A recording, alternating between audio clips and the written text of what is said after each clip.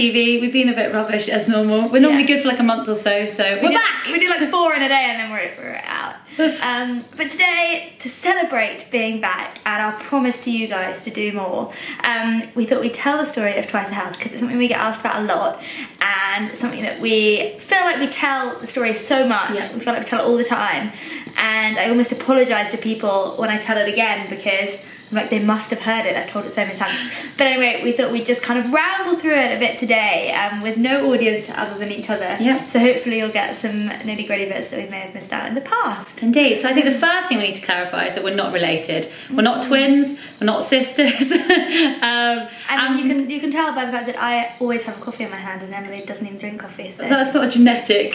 Well, you know, brother, my brother likes coffee. Yeah, my mom likes coffee, my dad likes coffee, everybody in my family likes coffee and My family like coffee and I don't like coffee, mm. so, you know, proving that wrong there. We didn't actually even meet till we were 18. Um, no, uni! Yeah, we met at UWIC, which is now known as Cardiff Met. Yeah. Um, so yeah, we were at university in Cardiff for three years, we were on different campuses, different courses. We met through a mutual friend over Jaeger bombs. And we did do. not do that much running, well I didn't, apart from running to the nightclub.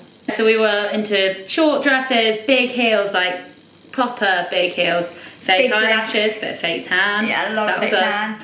I had very white hair. but actually wasn't even white, it was kind of like yellow. Kind of yellow, nice. Yeah. Um, but it's not our classic kind of Instagram story of a lot of people were like, oh, I, I came into fitness, I found fitness. We both actually were runners anyway. So even though we weren't living necessarily the most healthy lifestyle, if you want to call it, yes, we obviously ate some bad food and did drink alcohol, but overall we still yeah. lived a pretty good life. But our background, we actually realised we raced against each other when we were kids. So we both did 800 and 1500 metres on the track. Chasing each other around the track. Yeah, and cross young country. age. Yeah. So we will have actually crossed paths at some point.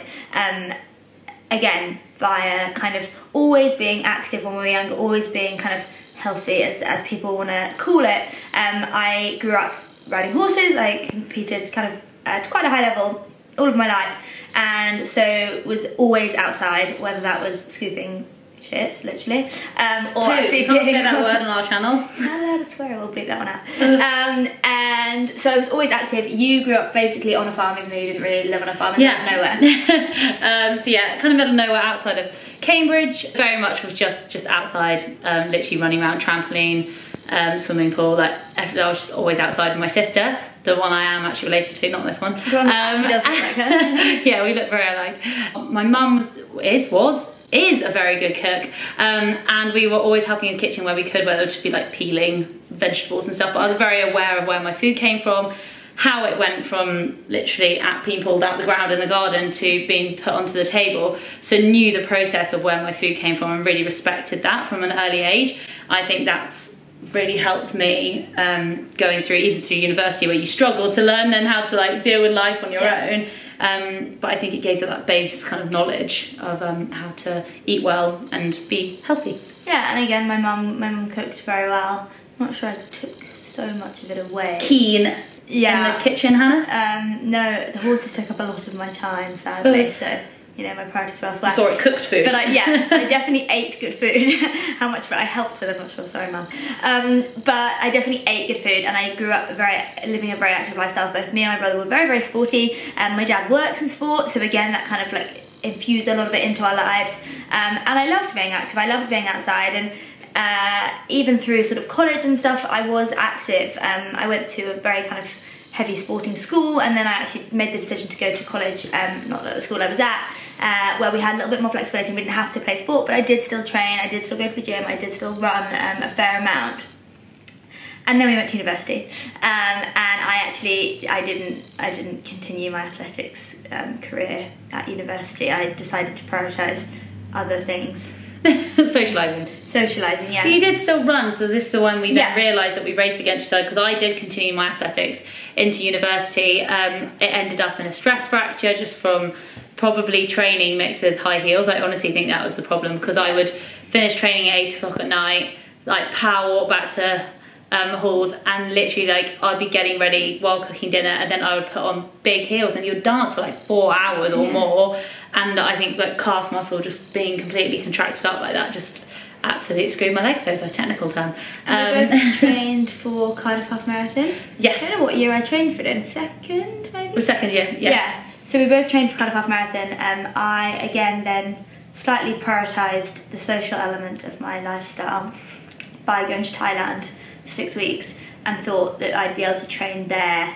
Um, No. no, no, very hot, and there was other fun things to do. Um, but I did attempt to a lot, and that resulted in me. I don't. I don't know if it was a stress fracture then, um, but there definitely wasn't something wasn't right in my um, shin shins. Uh, and I had always suffered with kind of shin splints um, throughout athletics, uh, but I at that point and actually rather sensibly um, just stopped running uh, and didn't do Cardiff Half Marathon um, and I guess it's around then that we started getting a bit more into strength training. Yeah, I think because my stress fracture was earlier than yours. Yeah. I was in my first year, so I had started doing weights as part of the athletics club because I wasn't doing, doing the training sessions. I was just going for the strength sessions, and you started going to Pure Gym in I Cardiff. did, yeah. So then when I realised I wasn't really running anymore and I wasn't enjoying going to athletics and not being able to run, I started going to the gym with you. Um, my boyfriend at the time was um, learning how to become PT, and so he programmed quite a lot of our strength sessions.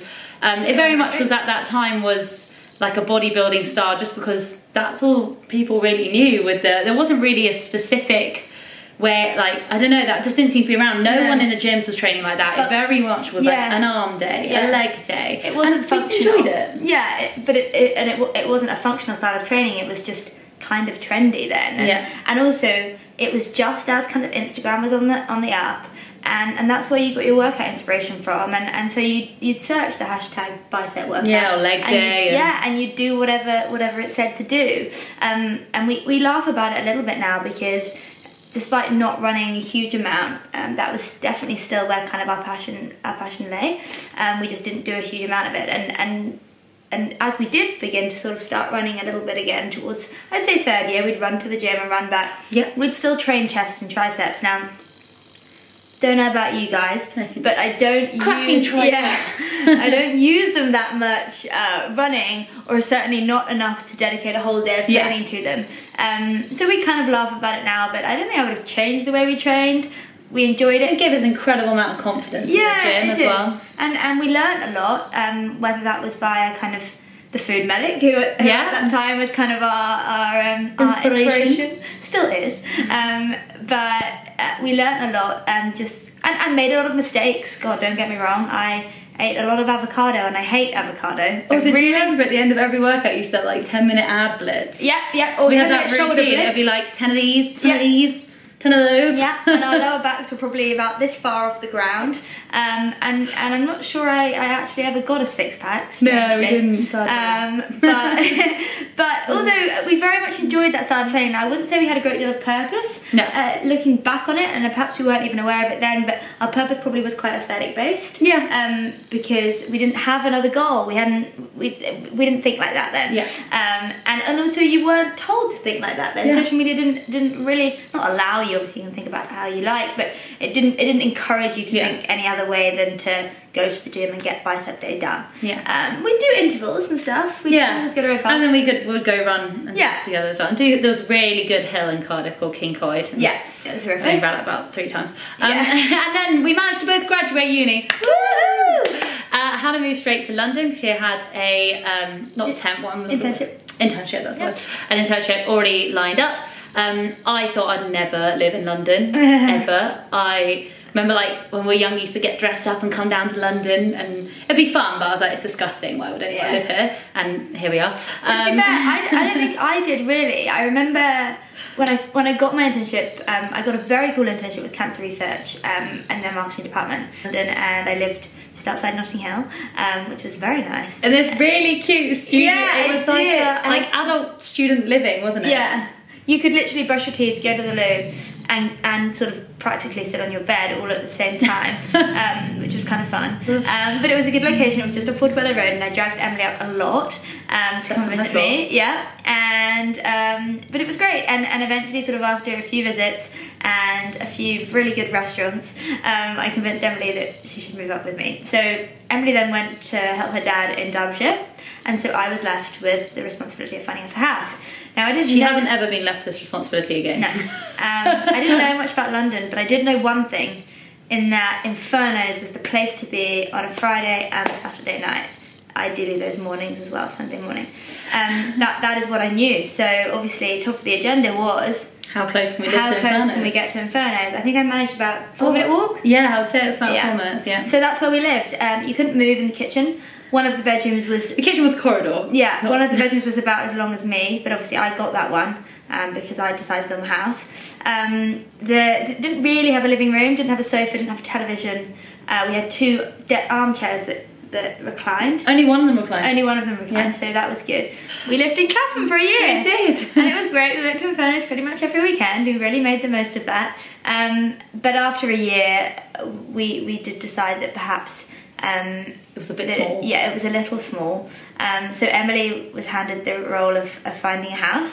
We did And much better. Wait, we've got to go back because we, we did first London Marathon happened at that oh, house. yeah, we've reverse, it. reverse. Yeah, so still living in Clapham. Bread. Uh, Yeah, so I worked in a bread cafe in Clapham that did toast during the day and pizza during the evening. It was fantastic. It Actually, was really It was restaurant. really good. And then no, um, so yeah, I was working at One Rebel making lots of smooth smoothies. Um, I was at, I very, very luckily landed myself uh, quite a cool job working in the marketing department at D&D London um, and I worked in Bluebird. I worked in the little office there for about four months and then um, again, very lucky and, and cannot thank D&D enough for the opportunity they gave me. I got a promotion um, and was moved to Quaglino's and I was given a very cool opportunity there to kind of work on their membership club and to work in marketing. So I got a phone call from Hannah. And I got us placed in a London Marathon. And I was like, amazing! Like I have felt like I've always wanted to run this. And I was like, oh wait, you mean like the London Marathon that's in like ten weeks time? Yeah, yeah, that one. Great, Great, isn't it? And I was like, hmm, yeah. So although we were both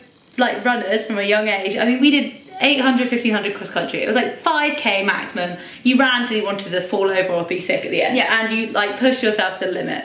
Um, we had done. Well, I ended up doing one half marathon. Oh no, I've done two half marathons. I had done one. and we'd done a 10k. Um, but I remember going out on like a 7k training run for that, and we were like, it's a really long way. Like we had to walk a little bit. Like that was a really big achievement Yeah. for us to run 7k. And I think that's really important to remember because people are like, oh, you've always been runners, so it's fine. We, yeah, we have always been runners, but it's very different running 1500 metres as fast as you can um, to running 26 miles. Um, so please remember that there was a point where we ran 7k, and I know that's still a long way for a lot of people, but where we really hit a wall, and I'd Yeah. say we probably had to walk at about 4k. Um, hangover again didn't help. Um, but yeah, so I signed us up for London Marathon. I thought it was too good of an opportunity to miss, and um, and so we did. And, and obviously we trained and trained and trained, and and like any first time marathoner, we just ran. Yeah. we ran almost every day. So we, because we were doing all our strength training there, Yeah. we were like, right, need to stop that. Don't want to put any muscle mass on it or make us heavy. Let's just run. Yeah, um, which of course resulted in whether or not it was linked to my Thailand adventures and me getting what they thought was a stress fracture. Uh, I didn't actually get an MRI because I'm a fool. Um, They're very expensive as well. They are fair. very expensive, and I decided that actually I would just not run. Um, and my physio told me that I can do the London Marathon, um, to which I nodded and agreed, but I had absolutely every single intention of doing it. Uh, and I, I lived on a spin bike for the next six weeks whilst Emily slogged through some very long training runs by herself, rewarding herself with kilograms of peanut butter. Yeah.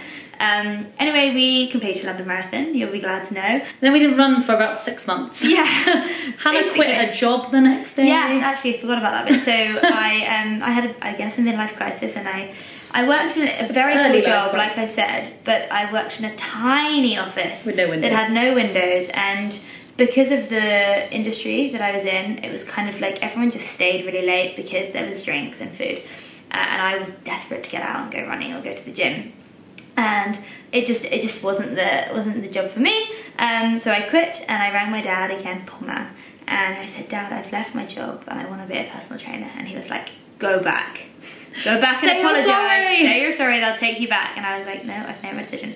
Um, sounds way more tragic than it was. It's actually very lucky and a very good friend of mine now. Um, was advertising a job on Facebook uh, for a marketing assistant in um, a PT studio and also a personal training centre. Um, so I managed to get the job there, and they also put me through my personal training qualification, which was amazing. and um, and we kind of began to grow twice the health at this point. Um, we'd obviously documented our London Marathon journey. That was how it began, uh, and we began This was to actually more. You made me quit my job. I did make you quit your job Yeah. because you hated it for about Yeah. a year. So I was literally it was like forcing her to write this letter. Uh, I was like, just quit, just quit, we'll do twice the health. Um, and actually around this time, I guess, I started working for a company called Fresh Fitness Food. I worked five hours a week on their social media. We started to get a bit more of an introduction to the industry. Um, Yeah. Whether that was via you having more time to kind of explore the industry and get to know bits of it that you wanted to get to know. Um, or- started like finally practicing nutrition, which Yeah. is what I studied at university. I started working for a company called Live Fit. I started taking boot camp in Fulham. This is we we'd moved to Fulham, um, and I was doing it every morning and also one weekend and also once on a Tuesday night. We've missed a little bit as well because we actually, in the meantime, in between all the job changes and everything, and just after the London Marathon, we decided to go and visit your dad in Arizona and hike the Grand Canyon. Now, that was an incredible experience, one that I didn't tolerate that well, I did not. Um, but it is one that inspired our probably biggest and best adventure to date. Yeah. Probably because it was our first, but we came out of the canyon after a horrific, We hiked it through the night as well, hours. just to yeah, and decided that we wanted to run it. And, and that was something that we decided literally as soon as we stepped out of the canyon and we were hooked on it from that point. It took us two years to Yeah. finally get around to doing it. Um, we ran a fair amount in between those two years, but not hugely. We trained. more like half marathons and 10Ks. Yeah, we trained in some strange ways. Um, but anyway, we, we got to the canyon um, and we actually went with a friend of ours, Molly. She dropped us on the north rim of the canyon and we ran. It was well, minus four as well. it was on minus four, yeah. And we ran what we thought was going to be a 24 mile route through the canyon. Um, it actually Okay. turned out to be 30 miles, which is 50k. Um, but it was one of the most humbling and incredible experiences of my entire life and still remains probably my favourite kind of adventure of ours that we've done to date because it was our first, I think. um, and and that that you know sparked a flame. Yeah, And I think we just realised how much we enjoyed the trail. We'd come from um, track and cross country, and then even into half marathons and 10ks. And again, like you're so obsessed with the clock, even when you try not to be. It's Yeah. always in your head. I think finally we found this this adventure where. No one asked us how long it took, or if they did, it was just like for a sense of scale. They weren't like, "Oh, is that fast or slow?" No one asked us how fast we ran it. They were like, "What did you see? Like, what was the temperature? What was the altitude?" That's what they wanted to know. And we're like, this is insane. This is so cool. We had such a sense of adventure and passion that had come out of this more than any other And race. sadly, you kind of lose that a little bit with a marathon. Um, so, yeah, that sparked a flame, and Hannah was given the choice of the next 50 kilometre adventure. So, we decided that would be our thing. We'd do Just went like 50K the houses, adventures. didn't it? Yeah. Hannah's choice. Yeah, so Hannah chose the Great Wall of China, Hmm. which I know you're thinking, great idea. It is a great idea, apart from most of the Great Wall of China is prohibited. Um, and I chose. And 3,000 years old. Yeah, and I chose a bit of it that was prohibited. Um, so poor Emily had the job of mapping this 50 kilometre route along the Great Wall of China, which she did. Um, we managed to find this incredible guy who'd done it about eight years ago, and we basically mapped our route on his. Now, the wall has changed slightly in the eight years.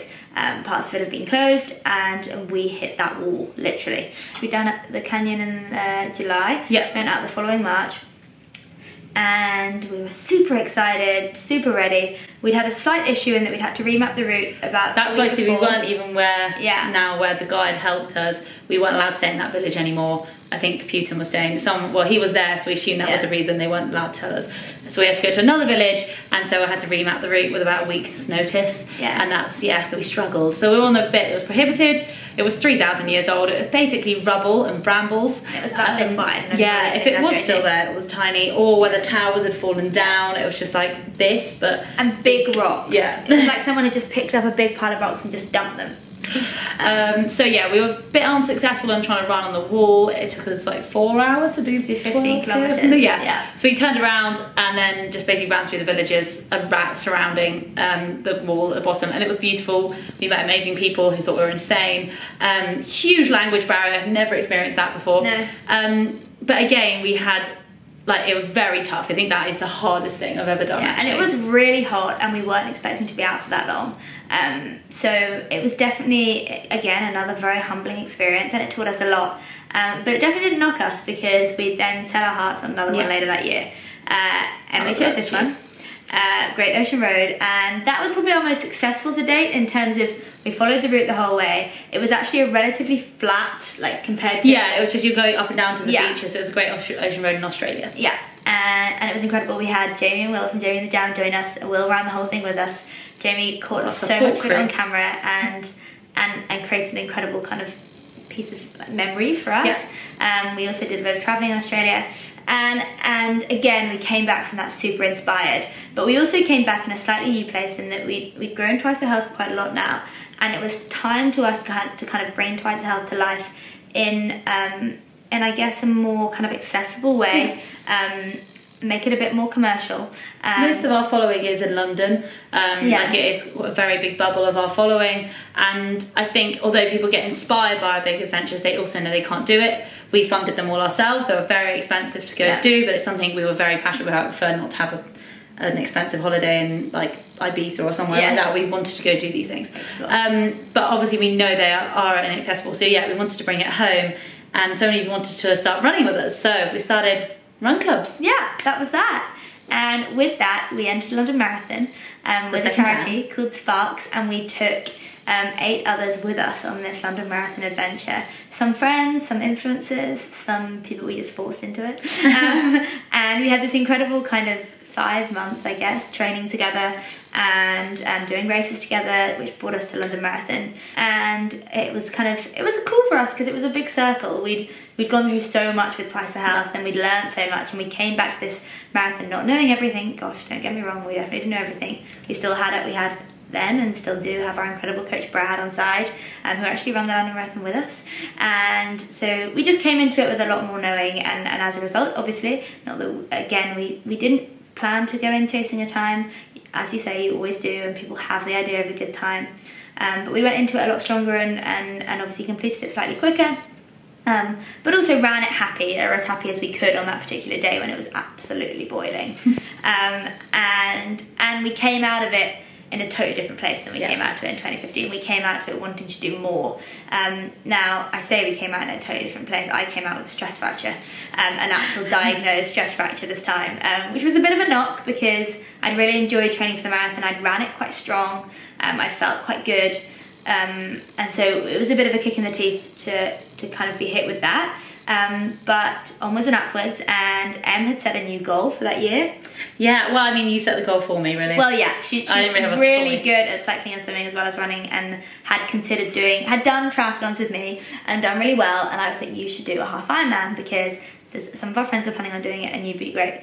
So Em set this goal of, of doing a half Ironman in September. Yes, we actually then alongside. Oh wait, to go back a tiny bit. So our run club started. Oh, yeah. In the lead up to the 2018 London Marathon, the one where we took eight others with us, um, and we started them from Lululemon in Richmond, and it just created this massive community around London Marathon. It was lovely. A lot of people complain when they do a marathon that it was isolating and lonely, and they enjoyed the day, but they hated training, and it's really sad because training can be six months or even more of your life, and it's something It can be that- really enjoyable. yeah, you might have obviously you're gonna have a bad run, you're gonna have a bad day, but overall it should be a really good experience. So we wanted to create that little community.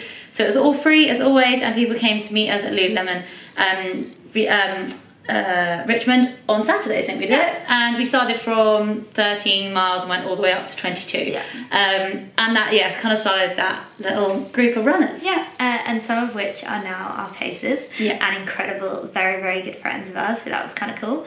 Um, but then with the half Ironman, when I started training for that, we actually started a cycle group as well with one of our best friends called Chloe. So she's Chloe in Motion on Instagram. So we had TTH in Motion was the name of our cycle club, Yeah. and she taught us both how to cycle. She did. Like, pro- like we could always, as we said, we grew up outside. Like we knew how to cycle, but I just we both just poodled around and didn't I really know how to cycle fast. Um, and she very much like unlocked that skill for us. Yeah. Um, and we got more confident on the bike, and, and it allowed me as well with my stress fracture to still do something. Um, they told me I could cycle, so I cycled every single day, everywhere. Um, but I really enjoyed it. So TTH in motion was in full swing. Indeed. I was cycling quite a lot. You were cycling even more, and swimming and running. Actually, I think you were cycling more than I Yeah. was because I like to cycle to the lake and then just swim, whereas then you would cycle around for Yeah, yeah, yeah, yeah. And because I couldn't run, I was driving myself insane. Um, and then um, did a half Ironman and killed it and really enjoyed it. I loved it. Honestly, it was so much fun. Yeah. I think because it was really nice to go into something with no expectation at all. I did just want to enjoy it and finish. Um, and I loved that. It was really nice, eye-opening and changing experience. And it was really fun watching. Yeah, you got a good tan. Mm, watching is my thing, I think. And so then, since then, um, we haven't done any more like big challenges, really. No, not um, We went to Paris to do Paris Marathon. Again, that was really nice to go there and actually, well, I ended up with PB. She had a better London Marathon than I did the Yeah. year before, um, which was completely accidental. But we both had a really Good great run, run, in yeah. Paris and really finally like enjoyed and embraced a road marathon. I mean, you did actually miss out quite a big chunk there where we decided to run from London to Birmingham. I mean, that was pre-Ironman. That was pre Ironman, yeah, that was the January before. And we got asked in a random meet in Pret Yeah. with this very strange man called Jamie. Um, I fully blame him for everything there. Um, but we signed up to run five and a half marathons in five days, which was a truly eye opening experience. Well, very humbling. We uh, signed up to No, run yeah. five marathons in five days, and it turned out to be being a lot longer. more. Yeah. So thank you again, Jamie, for that. Um, but it was absolutely incredible, and, and I think definitely a kind of um, uh, like project or I guess plan or um, structure that we'd like to try again at some point. Um, that kind of multi-stage can't ultra. have. I don't know what Yeah. word you're looking for. that kind of multi-stage ultra, but very much in our control and um, with hotels and pizza at every end point. no camping. Yeah, no camping. So yeah, anyway, again, fast forward, we went to Paris, we did Paris Marathon. Absolutely loved it. Paris was definitely a slightly different training journey because we were not training for speed. We were training for a much bigger project later in the year, um, which is fast approaching, and It that is Race to the Stones. Dun, dun, dun, dun, which for those of you that don't know, is 100 kilometres along the Ridgeway, which yes, is supposed to be beautiful, but that does not take away from the fact that we are looking at at least 12 hours of running. Indeed. And eating. way. Yeah. So um, that's our next adventure. Um, we're super excited about it. It's very much one in the unknown. We've never run that far before. Um, we have no idea how our bodies are going to deal with it, or how our minds are going to deal with it, how our friendship is going to deal with it. Um, but we're doing it with our two coaches, who are amazing individuals. So it will definitely be an adventure and one that we will learn a lot from. We of course of course have lots of things planned for after that. Um, we are looking towards next year and we're super excited to tell you guys what we're planning for next year. Um, but for now, we're keep that to ourselves. Yeah, hopefully it's given you a little bit of an insight into how we've got here. It's been about four and a half years Yeah. now since we started Twice the Health. Um, and we do get asked a lot about, yeah, when we met each other, how we met each other, how we became healthy, which we didn't do. Yeah. Um, and um, yeah, so hopefully you've answered a few of those questions. But if you have more questions, please feel free to drop them in the comments box below. If you're still here, because this has been quite a long Long explanation, one, yeah. sorry. Uh, and don't forget to give us a thumbs up. And hit that subscribe button. We'll be back soon. I promise we won't let it be this long.